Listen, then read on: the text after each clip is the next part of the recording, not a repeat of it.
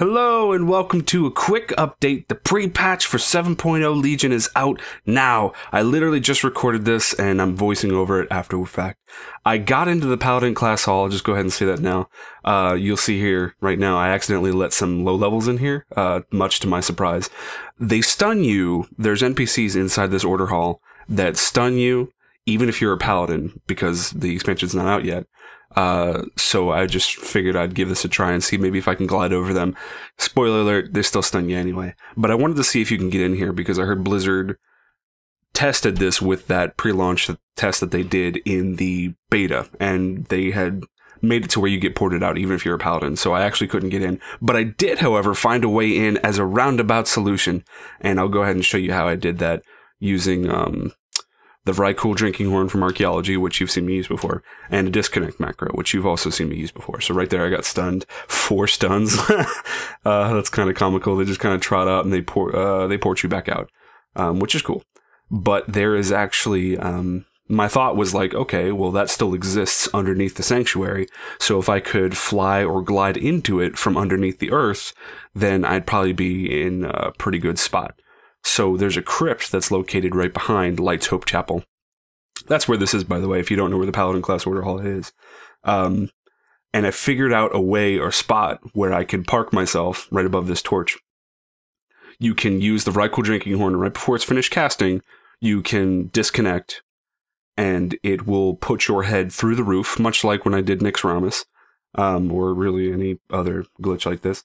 Um, and in doing so, I'm just going to cut ahead once I start logging out. But uh, in doing so, you can actually free range jump into the open abyss. And normally, you'll just either hit something below you, like I could have hit, and I did, um, the crypts below, or you'll just drop into the nothingness. But I uh, went ahead and hit my glider and actually glid myself into the room, and you'll see in a minute and then you'll see I start jumping forward a little bit, hop a little bit, and then you get on top of the wall right there. You'll see it.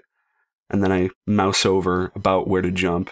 There you go. You want to aim for about that area. Uh, I don't recommend doing this because this is probably not good, and you'll see why because I actually get something out of this.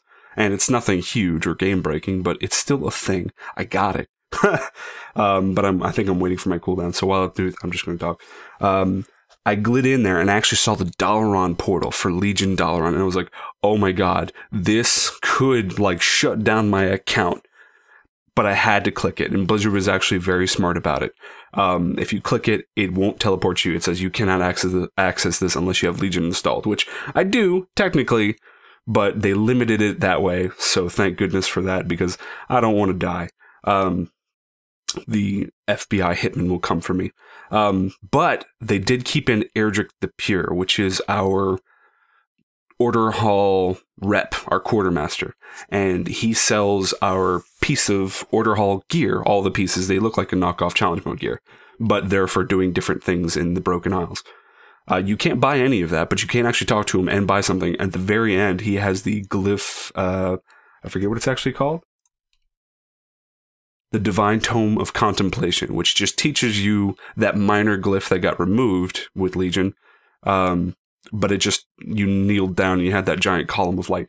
Eadric the Pure still sells that on live.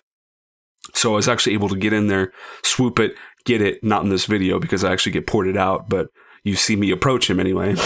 I even went into the beta just so that way you can see what Eadric sells, but I went ahead and captured footage of his vendor list from there. So that's what you're seeing now uh, just so that way you're not just oh man.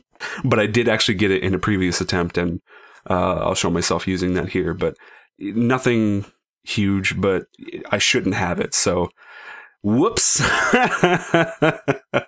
anyway, that if I find more, I'll update it. But I just wanted to put this out because I literally just did this. So uh, if you want to see any of my other videos, you can check out my WoW playlist because I have all sorts of goofing off videos and uh, exploration videos. So yeah, I do a lot of like this. I don't know how or why I ended up finding this, but I did. So yeah, don't do it.